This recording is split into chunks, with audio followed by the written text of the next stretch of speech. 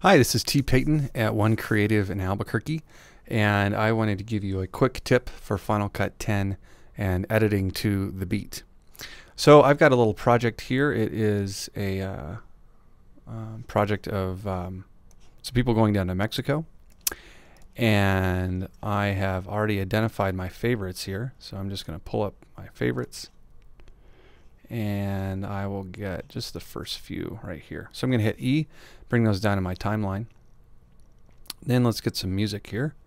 Uh, let's turn off my favorites and let's get this one. Let's go to our to the head and hit Q to bring in our music bed. Okay, so let's see what we have so far.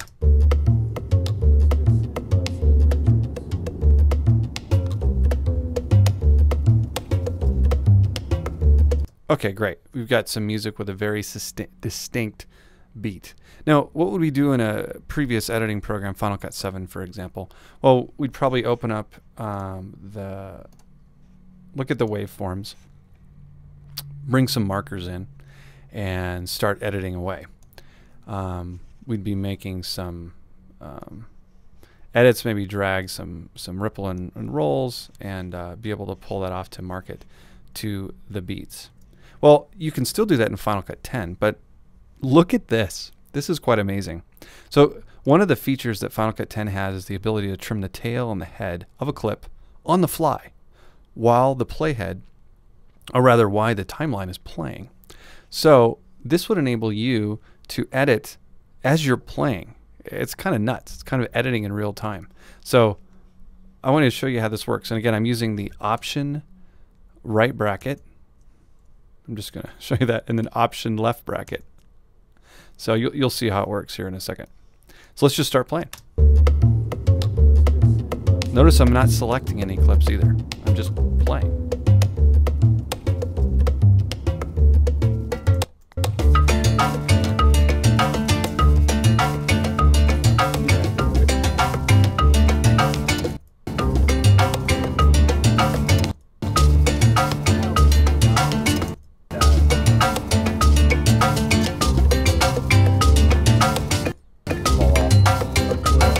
Yes.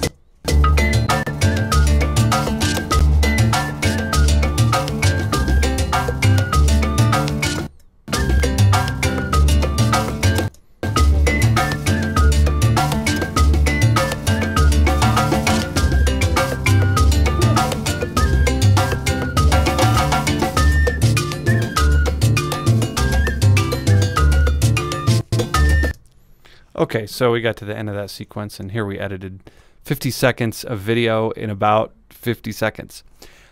One thing to note, um, the timeline wasn't scrolling automatically. I was grabbing my scroll wheel um, as it was playing.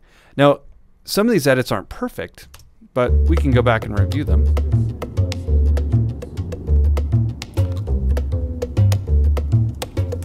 If I wanted to make that edit earlier.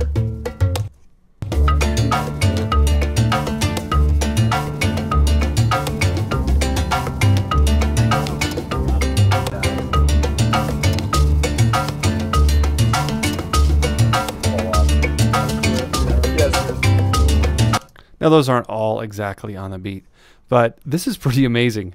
We did something in Final Cut 10 that would have taken, I don't know, three or four times as long in a normal editor.